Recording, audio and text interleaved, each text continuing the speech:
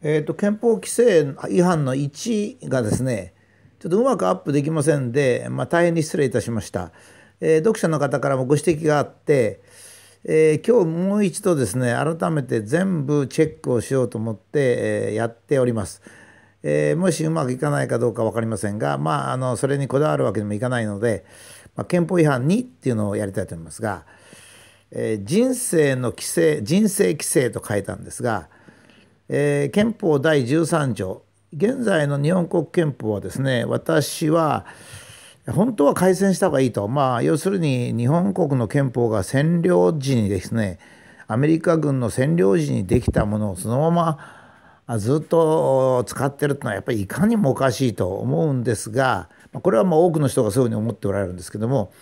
内容は非常にある意味でいいところが多いんですね。特にあの人権ですね。やっぱり日本人はどっちかっていうとですねそこのところは更新性があるんですねつまりお上の言うことを聞くというのはいいことなんですが、えー、日本はその大名もそうでしたし天皇陛下もそうでしたのでお上が非常にしっかりしてたのでそれでお上の言うことを聞いて生活するという感覚があるんですけども、えー、民主主義になってもそれが残ってるんですね。ですから政治家が聴衆に対して「お前バカ」と言ってみたりですねそれからまあちょっと選挙中なんですが、まあ、都知事としての小池さんがですね、えー、クールビズだとかタバコをやめさせるとかいうようにですねまあ人格観念がないんですよ。つまり偉くなったら俺は殿様だからお前の自由を束縛できるっていうそういう考え方なんですね。あのちょっと男性にもそれが残ってるところがあってですね奥さんの行動を相当縛っって縛るような男性もまあ結構多いんですよね見てると。ちょっと今の時代にはなというふうに思うことが私なんかあるんですがそのそういう点ではですね現在の日本社会よりも現在の日本国憲法の方がですね、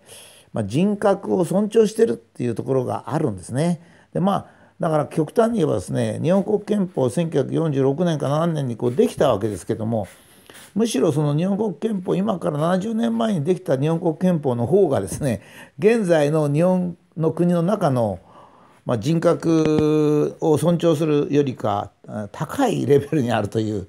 まあそういうことも残念ながらまあ言えるわけですね。ちょっと今13条、まあ、13条だけじゃないんですが13条読んでみますと「すべて国民は個人として尊重される生命自由及び幸福追求に対する国民の権利については、まあ、公共の福祉に反しない限り立法その他の国政の上で最大の尊重を必要とすると、まあ、こういうふうになされてるわけですね。つまり国民はまああの未成年の場合は親権者になるんですけど国民は個人としてやっぱり尊重されなきゃいけない。まあ、これはヨーロッパ流の考えなんですが日本でももちろん個人として尊重してるわけですけどねそれから命とか自由とか幸福どういうものが自分の人生にとって幸福かということを追求する権利っていうのはですねそれをもし制限するんであれば公共の福祉に反しない限りはですねやっちゃいけないとこういうふうにもうはっきり憲法13条に書いてあるわけですね。その点では例えばまあ禁酒禁酒っていうのがまあ一回アメリカで禁酒法っていうのがあったんですねそれでなくなりました。それはどうしかって言ったらやっぱり個人の自由を束縛するわけです。飲酒っていうのはやっぱり問題なんですよね。あの自分の体という点じゃ肝臓を痛めたりしますし、まあ、酔っ払うと人に迷惑をかける人、まあ、いろいろなことがあるんですがそれでもですね公共の福祉に反するとまでは言えないと、まあ、いうことで、まあ、禁酒法はアメリカでもですね、えー、1917年にできて1930年に13年でやめになった。そして禁酒法を作ってもその結果としてギャングが横行しただけにとどまったわけですね。まあ、そういう点じゃ現在一番問題なのは禁煙ですね。禁煙っていうのは本人が肺がんになるかもしれないしならないと思うんですよ。だから分煙とかそういうのがちゃんとしてればですねタバコを吸う権利タバコを吸うか吸わないかやっぱりちょっと公共の福祉に反するとはやっぱり言えないですからねやっぱりそれもいけない。それからまあ小池さんの好きなクールビズネクタイをしちゃいけないということを決めて、まあ、お役所では現在も5月1日からなんか10月30日までですか？31日ほとんどクールビズを強制されてると同じですね。じゃあ何の理由かって言ったら地球温暖化 いやいやいや地球温暖化は公共の福祉とは言えませんね。えー、まあとにかく世界で実施してるのは日本だけだし何の意味もないし科学的根拠もないしとそれをまあクールビズということで、えー、個人のあれをやるシートベルトもちょっとそういう傾向があるんですね。まあ、シートベルトもですねそのやっぱりシートベルトをするかどうかというのは公共の福祉に反するとは言えないんですよ。まあ、交通事故の時に怪我が多く大きくなるっていうだけですからねだけですからっていうかまあ、クールあのシートベルトした方がいいですよという呼びかけをする私が非常に問題と思うのはですね後部座席のシートベルトなんですけども、えー、っとタクシーなんかに東京で乗るとシートベルトしてくださいって言われるんですがデータを出す方が先なんですよね。警察庁が東京のタクシーで、えー、後部座席に座った時シートベルトをした時としない時との死亡率とかそういうのをデータを出して十分に説明したけれども国民がそれに従わないので公共の福祉に反するという理由を述べてシートベルトの着用を強制することができるこういうふうに思うんですね。まあ、あの有名な悪名高き日本の中学生高等学生の制服ですね。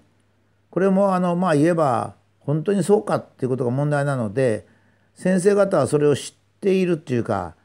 それで京都に例えば修学旅行行くと修学旅行の京都に行くまでは制服を着させると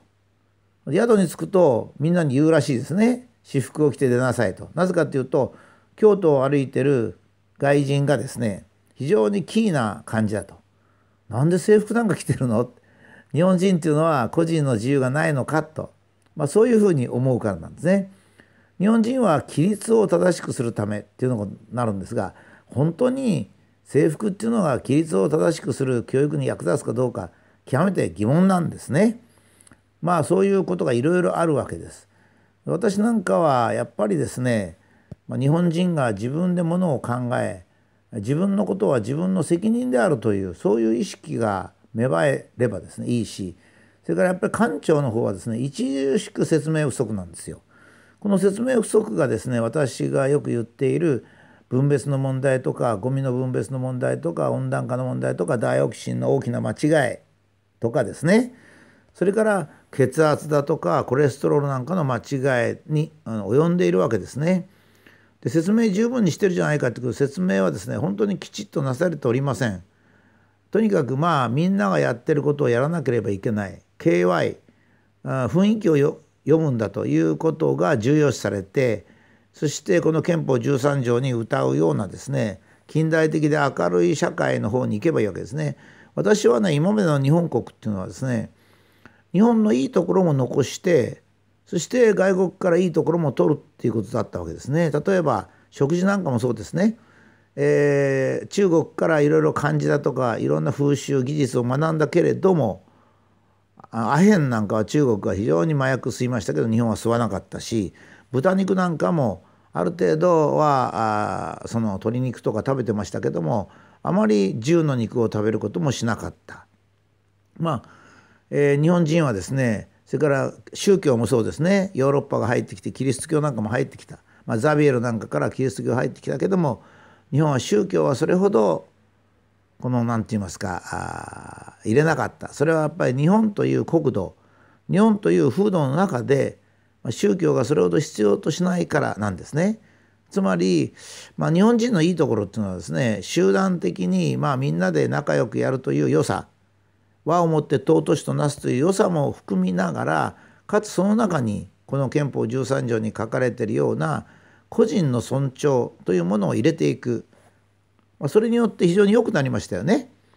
今は非常にそういう点で良くなりました。まあ、道路工事一つにしても何にしても昔はお上がやるんだからどけどけっていうような感じのものがですね、まあ、一人一人の通行をする人に配慮をしてそしてやるっていうふうになってきました。まあ、そういう点では非常に改善されてきましたがむしろ政治家がですねなんか俺たちは偉いんぞ偉いんだっていう気持ちだとかそれから教育者ですね 学校の先生、まあ、そういった本当は日本国憲法を理解し進歩の方に日本の社会をもっと明るく楽しく進歩した方に行きたいと。だから禁酒も十分にデータを流し禁煙も流しクールビズも流しシートベルトも流しま、制服がもし必要なら制服のデータも流しちゃんと文化人とか学者がいるんですから、まあ、そういう人たちによくあの伝達してですねあの社会に理解を求めて一人一人が自分の幸福を追求する権利を発揮できるようにすべきだとだからこういうものは全部私は憲法違反だと思います。